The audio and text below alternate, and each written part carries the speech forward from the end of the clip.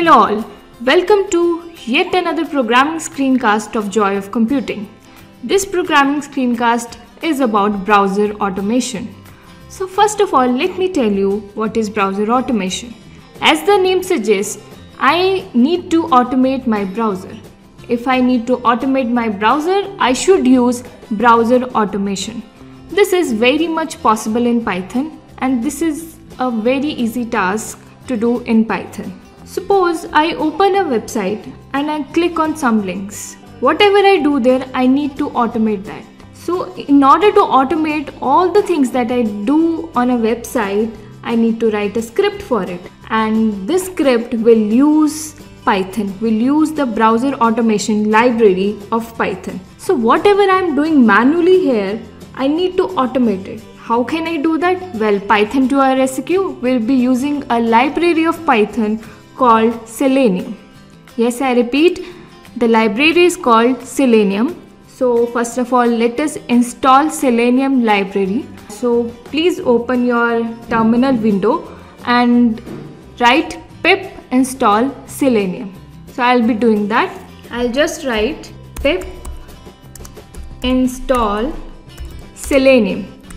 S E L E N I U M. Okay so I'll just click enter. Since I have already installed Selenium library it is showing the output as requirement already satisfied. So I'll request all of you to install it. I have already installed it. That's why it's saying requirement already satisfied. So first step you need to do here is to install Selenium library uh, by using the command pip install Selenium so now that we are done with installing the Selenium library, there is one more requirement that you need to install here.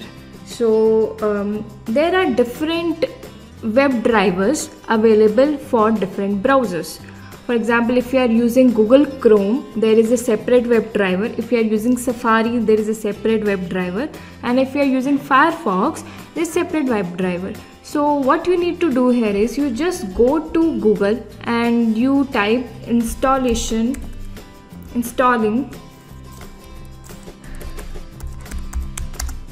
WebDriver for chrome i'll be using chrome here so i'll uh, use the chrome driver here. The web driver for google chrome is called chrome driver. So i'll just write chrome. So there are different links here. So go to the download section. We have the chrome driver here. I'll just click here. Please download the latest version of the chrome driver and it is 2.42 as if i'll click here it will download the concerned web driver for chrome since i've already installed it i'll not install it I have shown you the way how can you install a WebDriver for Chrome. Similarly, you can install WebDriver for other browsers. If you are using Safari, you can download that for Safari too. And if you're using Firefox, you can download for Firefox too. I'll just show you. So you just need to go to Google and you now you now need to type install WebDriver for Safari. I'll say Safari so uh, in the download section you have uh, the different web drivers for Safari too. So you can download the Safari web driver too if you are using Safari.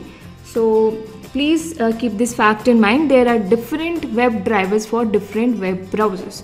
So you need to install the respective web driver for the web browser that you are using so uh, now we have now we are done with the installation process. First of all we installed the selenium library that is used for browser automation in python. And then we also installed the web driver which is also used for browser automation. So i request all of you to install these two uh, things before proceeding to the programming screencast